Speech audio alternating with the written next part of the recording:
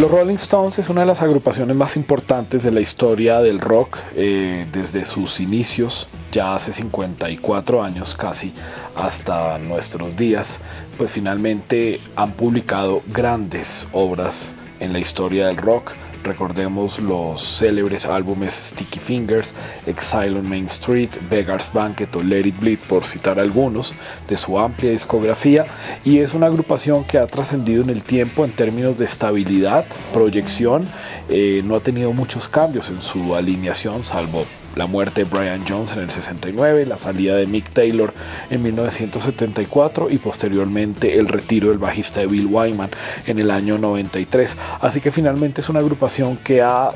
perdurado en el tiempo, que se mantiene activa, que se mantiene creativa y es la banda más grande de la historia del rock en mi opinión.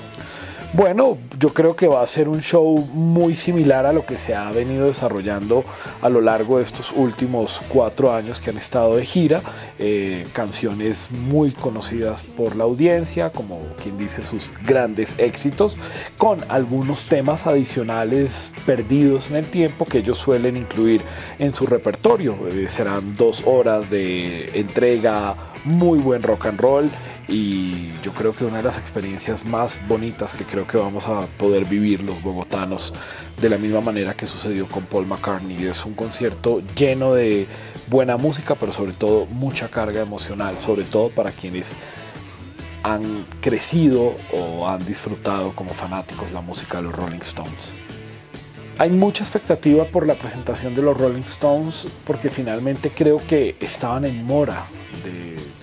venir a, Colombia. Yo creo que a nosotros durante años y años nos pasaban por encima cualquier cantidad de artistas. Con la crisis de la industria del disco, pues finalmente los conciertos se vuelven relevantes para muchas agrupaciones y es así como en este país de un lapso de que no viniera nadie pasamos a tener prácticamente a todo el mundo y yo creería que los grandes artistas de la historia del rock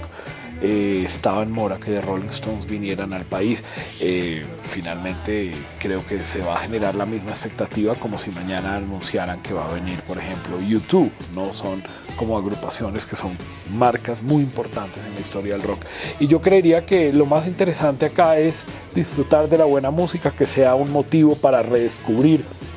los álbumes de los Rolling Stones, hay compilados muy buenos, hay una cantidad de trabajos eh, desde el año 64 hasta su último álbum en estudio del 2007 que creo que permitirán que la gente disfrute del mejor rock and roll hecho hasta la actualidad. La mejor organización posible, estoy absolutamente seguro así como quienes fuimos a ver a Paul McCartney tuvimos una experiencia muy grata desde el momento de la compra de la boleta hasta la fila para el ingreso y las sillas numeradas y todo el desarrollo del concierto en términos de puntualidad, lo mismo va a suceder con los Rolling Stones. Ellos no dejan al azar este tipo de cosas tienen una organización muy rigurosa que se encarga de todos estos aspectos logísticos. Así que no vamos a vivir experiencias como en otras instancias que se viven en la ciudad de caos o desorden. Será muy riguroso, muy ordenado